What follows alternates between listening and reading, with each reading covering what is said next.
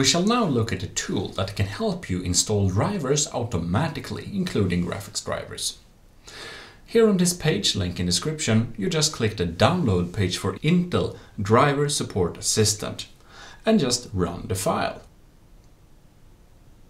Agree to the terms and click install. When install is finished, you need to click restart. After restart, you can in the lower right corner find the symbol for the Intel Support Assistant. You click on it and then you'll choose check for new drivers.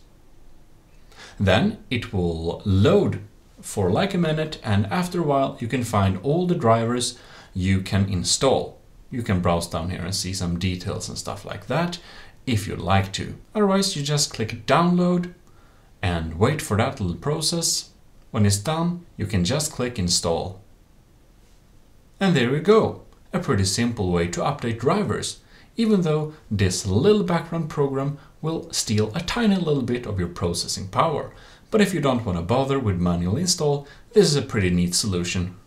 And well, if this video did help you, then please leave a like down below and do subscribe for more future videos.